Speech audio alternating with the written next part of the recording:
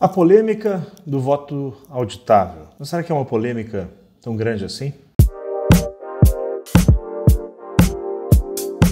Esta sexta-feira, o presidente Jair Bolsonaro admitiu que não tem o número de votos necessários para mudar a legislação brasileira e, com isso, introduzir no sistema eleitoral o voto auditável ou voto impresso, como muitos dizem. Agora, essa resistência de parte de alguns grupos, ela, mesmo para aquele mais cético, né, e que acredita no sistema atual, não vê a necessidade de aprimoramentos, não vê desconfiança, é, essa resistência ela acaba sendo geradora justamente disso, de desconfiança. Afinal, Trata-se de um sistema né, que vai complementar, digamos assim, a apuração, tornando essa contagem possível num outro suporte que não apenas o eletrônico. Por que será que tanta gente se opõe a ele? Existem algumas sugestões. A ideia de uma impressora inviolável, uma maquininha na qual você pode né, verificar se o seu voto é, eletronicamente registrado é o mesmo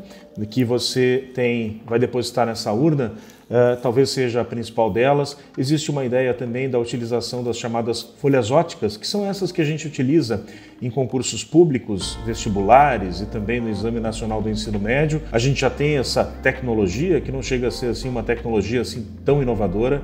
Esse sistema é utilizado nos Estados Unidos, entre outras coisas, não necessitaria, digamos assim, de uma conscientização, de uma aprendizagem da população, porque quem aposta, por exemplo, nas loterias da Caixa Econômica Federal já está acostumado a isso e a gente teria tempo também para fazer a adaptação é, tanto do sistema quanto ensinar, digamos assim, ou comunicar às pessoas que esse sistema mudaria a partir da eleição do ano que vem.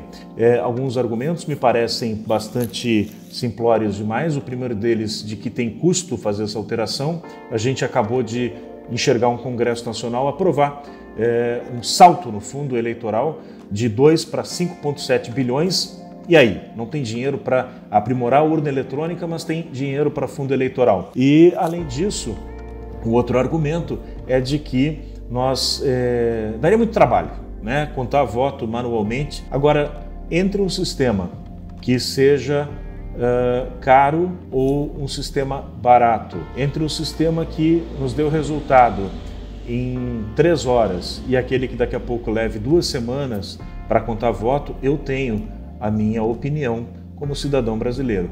Eu quero aquele que eu possa confiar. Se ele puder juntar as duas coisas, se ele puder ser menos oneroso do ponto de vista financeiro e ao mesmo tempo de divulgação mais rápida de resultado, melhor.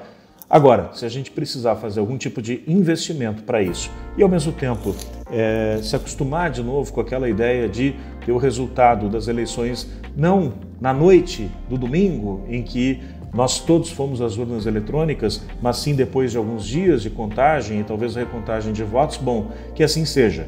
Não tenho aqui elementos para dizer que houve fraude, que houve eh, eleição roubada, seria uma irresponsabilidade da minha parte dizer isso sem ter elementos é, que atestassem isso. Agora, eu vejo sim a necessidade de a gente aprimorar um sistema que vem sendo utilizado no Brasil desde 1996 e que de lá para cá, é, muito pouco passou por atualizações e, digamos assim, reformulações, garantindo mais segurança interna, mas principalmente para quem está do lado de cá, né, uma sensação de maior segurança daquilo que está sendo depositado lá.